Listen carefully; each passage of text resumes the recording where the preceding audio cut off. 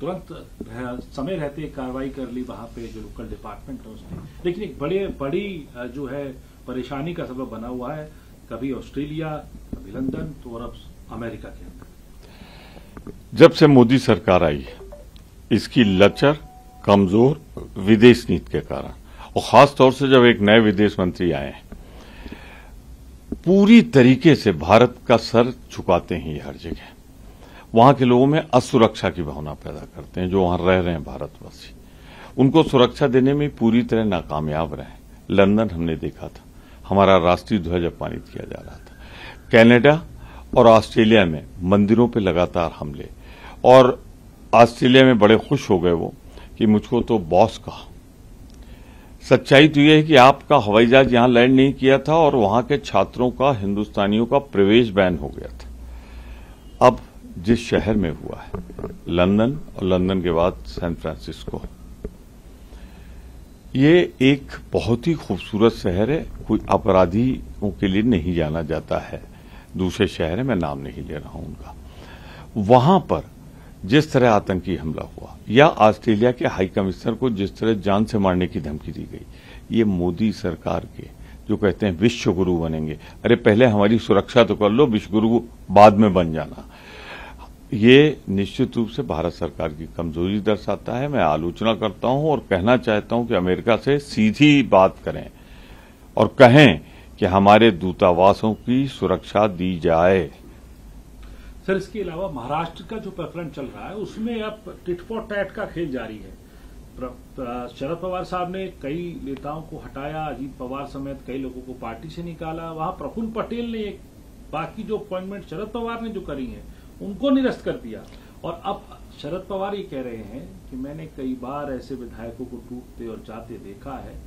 कई विधायक ऐसे हैं जिनका ये नाम ले रहे हैं वो मेरे को फ़ोन करके कह रहे हैं हम एनसीपी से जुड़े हैं कुछ दिनों में तस्वीर साफ़ हो जाएगी। एक चीज़ और खुद क्या कह रहे हैं अ, दोनों लोग? मेरा इराशा पटेल तरफ़ और पटेल जी के साथ डिप्टी चीफ मिनिस्टर सत्तर हज़ार करोड़।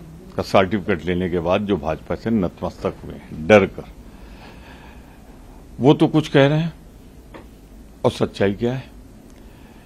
मैंने अपने 44 साल के राजनीतिक जीवन में पहला डिफेक्शन देखा है, जब से ये डिफेक्शन एक्ट आया है राजू जी लाए थे।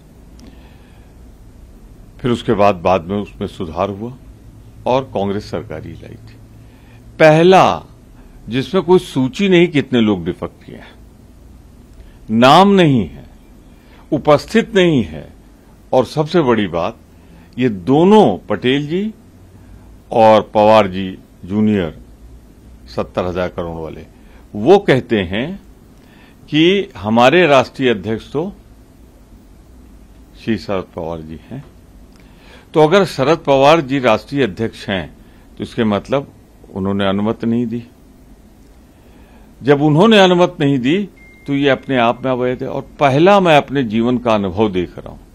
जहाँ कोई सूची नहीं कितने लोग दल छोड़ के गए। कोई सूची नहीं है कि हमारे साथ कितने लोग हैं।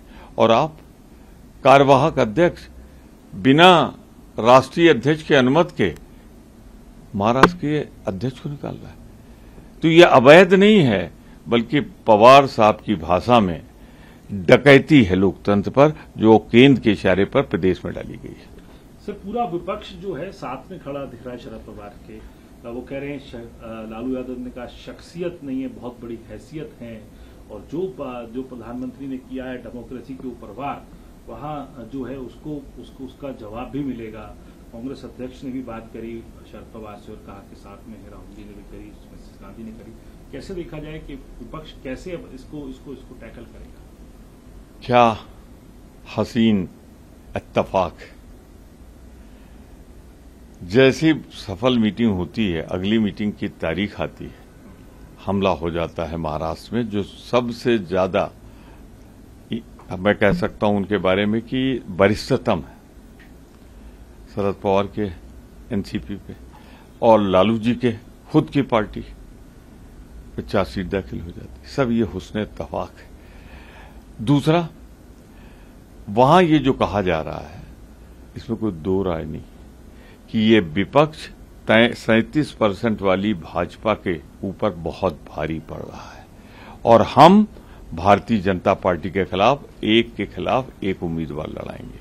और दावे से कहते हैं, भाजपा को सौ पे समेट देंगे। वहाँ एक जूनियर मोदी है जिनको सीनियर मोदी ने साइडलाइन कर रखा है। डिप्टी चीफ मिनिस्टर नहीं बन पाए बेचारे। वो कह रहे हैं कि यहाँ जेडीयू भी टूटेगी। तो आप तो खुद ही मान रहे हो कि आप तोड़ने पे आमादा हो। तो गुनाहगार भी सामने हैं देश के। लोकतंत्र की हत्यारे भी सामने हैं सब। जनता इसका जवाब 2024 में देगी।